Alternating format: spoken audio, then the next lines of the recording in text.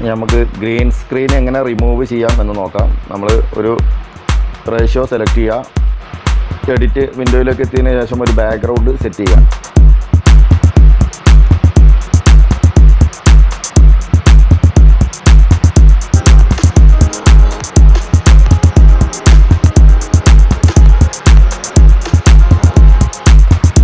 Background set ചെയ്തതിനു ശേഷം layer ഓപ്ഷനിൽ നിന്ന് ഗ്രീൻ സ്ക്രീന് എടുക്കാം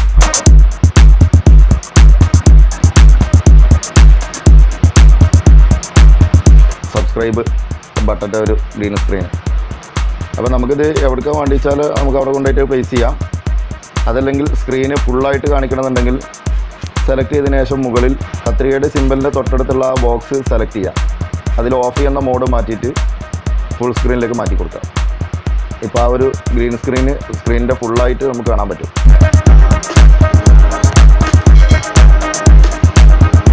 ഇപ്പോൾ ഇതിന്റെ ബാക്ക്ഗ്രൗണ്ടിൽ എന്താണ് ഫയൽ എന്നുള്ളത് കാണാൻ പറ്റില്ല.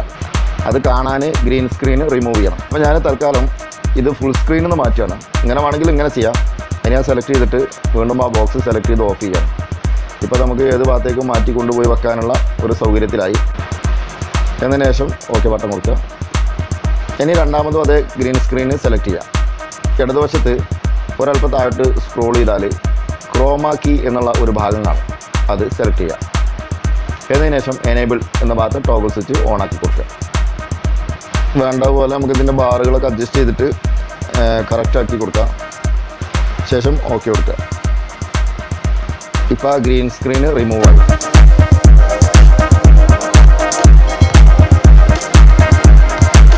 ഇനി നമുക്കത് വേണ്ട ഭാഗത്തേക്ക് പ്ലേസ് ചെയ്യാം.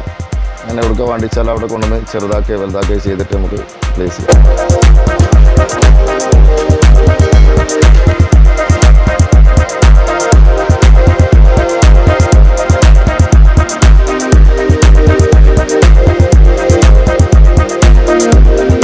എഡിറ്റുകൾ വരുത്തണമെന്നുണ്ടെങ്കിൽ വീണ്ടും ക്രോമാക്കി ഉപയോഗിച്ചിട്ട് നമുക്ക് വീണ്ടും ഒന്നും കൂടി ഭംഗിയായിട്ട് എഡിറ്റ് ചെയ്യാം. ഞാനൊരു താൽക്കാലികം ഗ്രീൻ സ്ക്രീൻ എങ്ങനെ റിമൂവ് ചെയ്യുക എന്നുള്ളതാണ് കാണിച്ചു തരുന്നത് നമുക്കൊന്ന് പ്ലേ ചെയ്ത് നോക്കാം.